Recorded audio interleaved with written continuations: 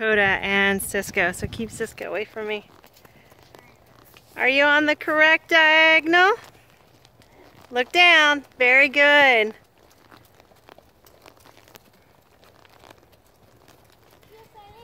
Shorten your reins on him. Keep Cisco away from me.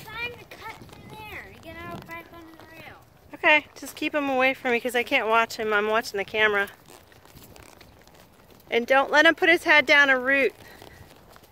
Remember, keep that outside rein tight. And fix your diagonal. Good. Keep the outside rein tight. Keep him moving. Don't let him stop and don't let him put his head down. And as soon as you get down to the shed, you can stop. Fix your diagonal. Don't let him root. Don't let him root. Good. There you go.